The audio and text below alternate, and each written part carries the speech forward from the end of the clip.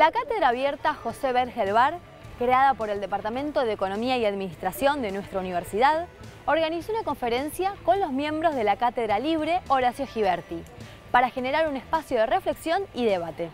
El tema principal fue la cartera agropecuaria y el rol del Instituto Nacional de Tecnología Agropecuaria en la política estatal. La actividad de hoy se enmarca en el lanzamiento no solamente de una publicación, que es la publicación Realidad Económica, de distintos artículos, entre ellos uno dedicado a analizar eh, la cartera agropecuaria en, términos, en tiempos de Giberti, sino que también es una actividad de lanzamiento de la cátedra Helvar dentro de la universidad. Mi rol es de comentarista en la presentación de un artículo desde mi punto de vista muy importante, que trata el tema de la función social de la tierra en Argentina y de los debates y luchas de poder que se han producido desde, eh, bueno, desde mucho antes, pero en este caso se trata del tema de la década del 70. Es una cátedra libre que está integrada por profesionales de distintas áreas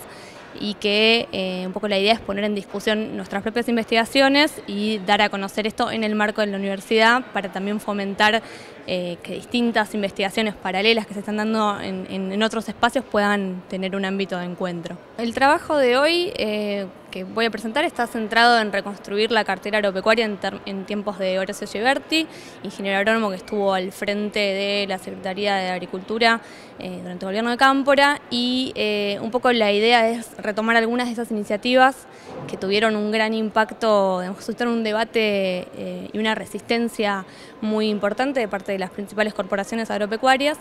Cuando se mm, implementó el impuesto a la renta normal potencial de la tierra y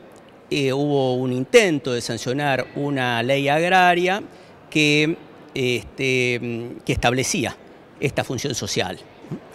Eh, la importancia es vital, en la Argentina de nuestros días se sigue debatiendo la misma cuestión, ahora con otros instrumentos, lo que antes fue un, impuesto eh, a, la renta del suelo, hoy